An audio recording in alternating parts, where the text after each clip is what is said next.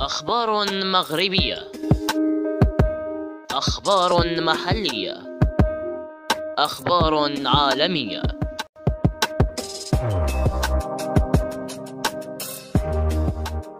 بعد أربعة عشر يوما من البحث انتشال جثة غريق سد بين الودان.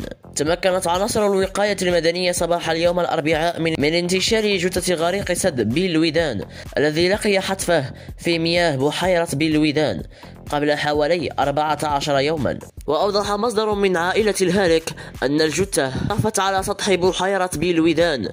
ما استدعى تدخل عناصر الوقاية المدنية التي داومت على البحث عنها منذ حوالي أسبوعين. وكانت رحلة استجمام قد تحولت إلى فاجعة يوم الجمعة قبل الماضي في بالودان حين لقي الشاب حتفه بينما كان يستمتع بوقته من فوق قارب بالبحيرة.